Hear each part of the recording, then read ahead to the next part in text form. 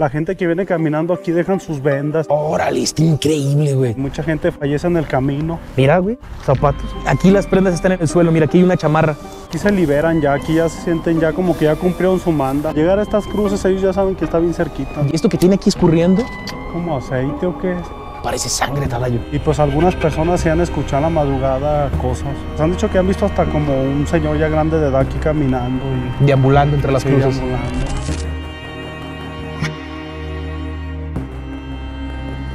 En esta noche nos encontramos llegando a un cerro ubicado en el municipio de San Juan de los Lagos. ¿Por qué estamos hasta acá? Porque hemos venido para observar las cruces. Las cruces que en este momento se encuentran frente a nosotros.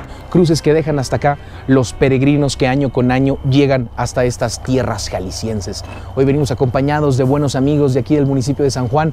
Está con nosotros el buen Talayo Muñoz. ¿Cómo estás, hermano? Bien, bien, ¿cómo andan? No, hombre, felices de visitarte. Siempre Talayo nos lleva a locaciones impresionantes, pero hermano, este está increíble. Está chingón. Está muy, muy, muy impresionante.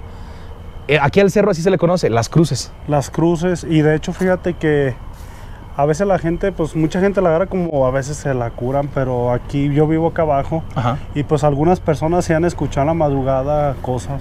Sí. Desde hace un chingo. Han visto hasta, pues han dicho que han visto hasta como un señor ya grande de edad aquí caminando y Deambulando entre las sí, cruces. deambulando. No, pues la verdad que venir hasta acá en la noche y, y- y encontrarte algo así debe de ser aterrador. Porque el escenario que las cruces van dejando es, es pues es, es tétrico ya en la noche, tengo que decirlo como tal. Es tétrico. Hay unas que parecieran incluso tumbas. Esta, esta pareciera una tumba. Y en realidad, pues recuerda así a peregrinos que han ido perdiendo la vida y, viene a ser como tal un homenaje fúnebre colocado aquí. Pero la diversidad de cruces es impresionante, mira. Y unas de gran tamaño como estas que están acá.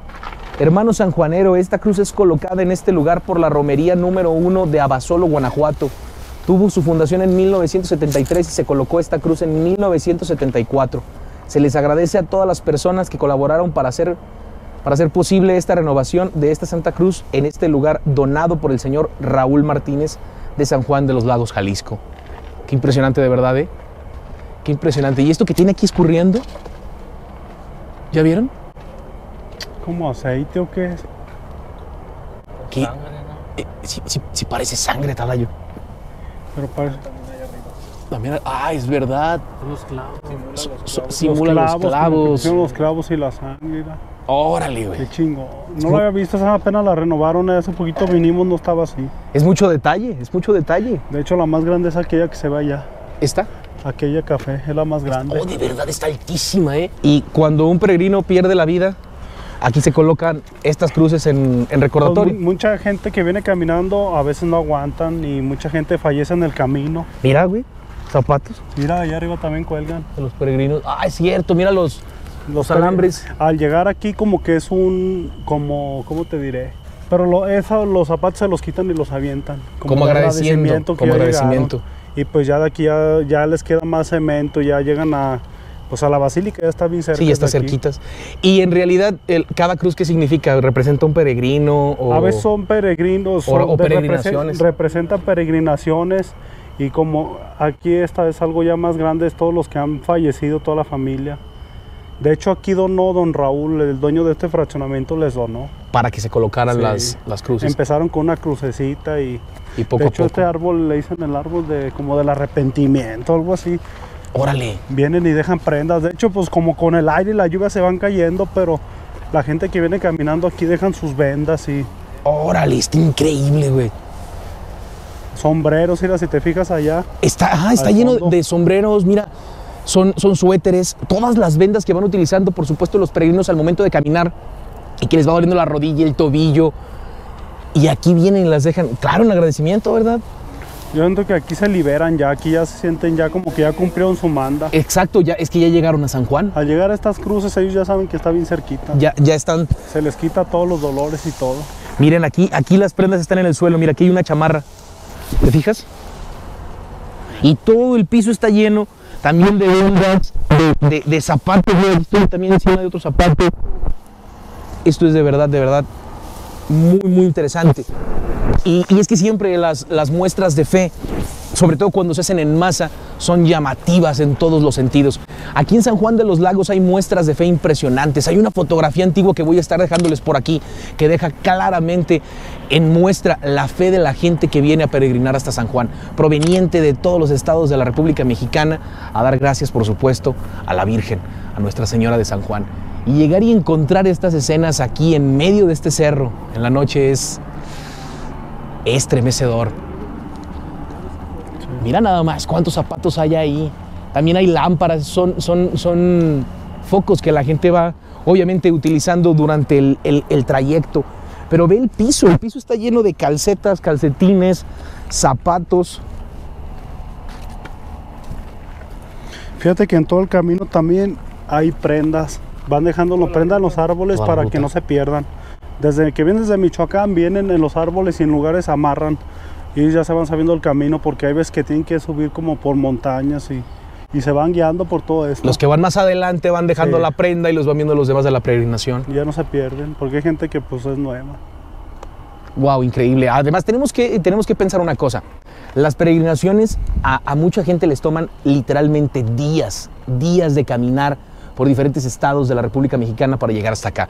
Entonces se trata de traslados verdaderamente considerables, algunos de uno, dos, tres, cuatro, cinco días de, de- de peregrinación. De duran como un mes.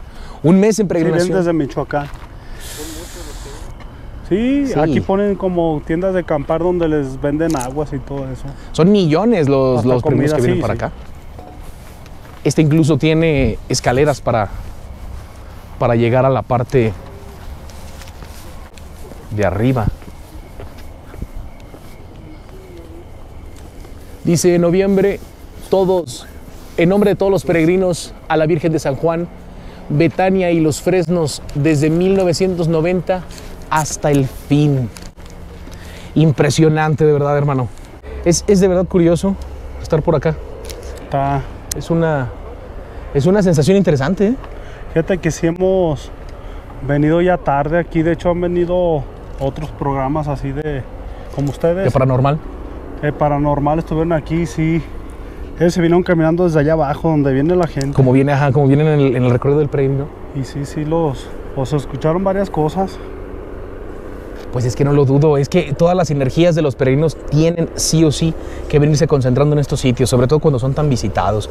Además, las peregrinaciones no siempre se realizan por gusto, porque también hay muchos peregrinos que peregrinan por placer, pero en la mayoría de los casos, obviamente son favores recibidos ahí detrás, o un dolor grande o una alegría muy grande. Energías que de una u otra forma tienen que quedarse marcando estos sitios.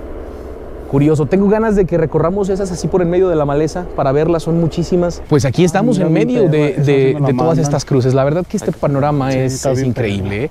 Este panorama es de verdad único. Yo no había tenido la oportunidad de visitar un sitio así. Me llama la atención, por supuesto, todos los letreros que tienen. 1972, 2006, Peregrinos de Santa Anita. Recuerdo de la familia Martínez Trejo y amigos invitados peregrinación Uruapan, Michoacán. San Juan de los Lagos desde 1979. Son familias y grupos que vienen peregrinando desde hace décadas hasta estas tierras sanjuanenses. Miren nada más ahí, incluso también recordando a los que ya perdieron la vida, los iniciadores de esta hermosa devoción, tradición y herencia.